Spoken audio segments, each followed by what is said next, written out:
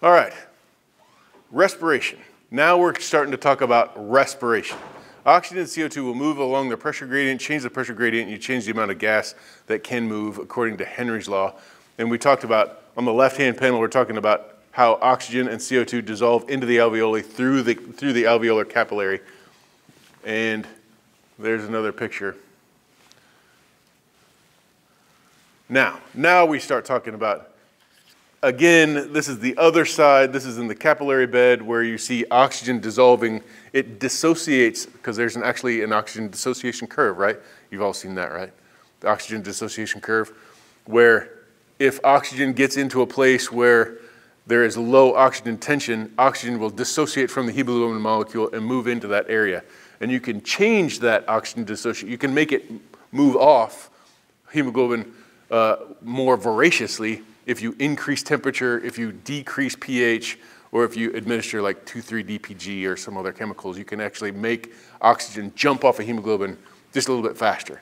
But the reason that the oxygen is jumping off the hemoglobin into the tissue is because of decreased pH, uh, increased temperature, et cetera. You know, just the things, the kind of things that you would want oxygen to jump off. You know, if you've got a hot, acidic muscle, you know, like you're running, you want the oxygen to jump off.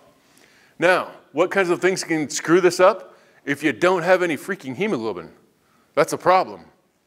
It turns out that normal saline, lactated Ringer's, doesn't carry hemoglobin or doesn't carry oxygen. That's an issue. Nothing, nothing replaces blood except blood. We haven't come up with a good replacement for blood. So just keep in mind that when we, when we talk about cellular respiration, the ability to use oxygen where it needs to be used. You've got to have the little boxcars of hemoglobin molecules to move it from the lung to the muscle. And if you don't have the little boxcars and the oxygen doesn't get off the boxcars, then you can't have cellular respiration. So amount of oxygen delivered to the tissue is dependent on the amount of oxygen available from the lungs to get on the hemoglobin, the amount of functional hemoglobin, and adequate flow of blood or hemoglobin to the tissues. All right, now here we go. Now we're really talking about cellular respiration. What does oxygen do? Why do you need oxygen? And here's why. This is the part that a lot of people don't understand. All right, what is this molecule? Does anybody know? Glucose. It's glucose. If you take glucose and you split it in half and you stick it in the top of the Krebs cycle, you turn the crank several times, and out the side comes eight molecules of ATP and a pyruvic acid molecule for each half molecule of glucose, right? You take that pyruvic molecule and a little bit of NADP and you drop it in the electron transport chain. And then you crank it a bunch more time. And like between 26 and 28 molecules of ATP comes out. I can't remember the exact number. Okay? So one half a molecule goes in the top of the Krebs cycle, crank, crank, crank, ATP comes out, pyruvic acid comes out in the bottom.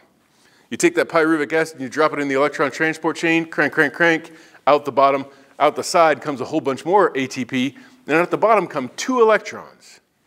You got to do something with those electrons, or your whole thing stops, right? What happens is oxygen comes along and picks up those two electrons and combines with carbon to form CO2.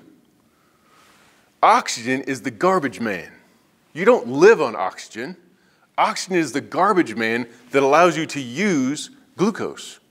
Glucose comes out the, comes, goes in the top, electrons come out the bottom, oxygen picks up the electrons. If you don't have, elect, if you don't have oxygen, what happens is the electron transport chain doesn't work. What about the Krebs cycle? Does it still work? Yeah, it does. But what comes out of the Krebs cycle? Pyruvic acid. Two, two components, two components. Krebs cycle, electron transport chain. Glucose goes in the top, pyruvic acid comes out here, and goes and you drop that pyruvic acid into the electron transport tank.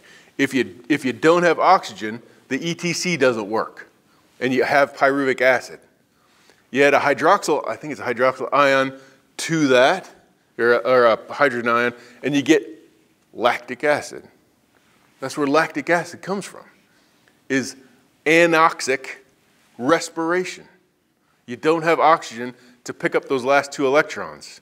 And you end up with pyruvic acid being changed into lactic acid. at the bottom of the Krebs cycle. Okay? This is cellular respiration in its most basic crayon form. Glucose goes in the top. If you've got oxygen at the bottom, you get ATP and CO2 comes out, and you breathe off the CO2. If you don't have oxygen, you get lactic acid. That's how it works. So you can still breathe. You can still keep, you can still keep your you know, cellular integrity intact if you don't have oxygen, at least for a little while. That, but that lactic acid is going to build up, and you end up going to, your pH is going to sink, and then cellular mechanisms don't work very well anymore, and then you die. So don't do that. Breathe. Breathing is good.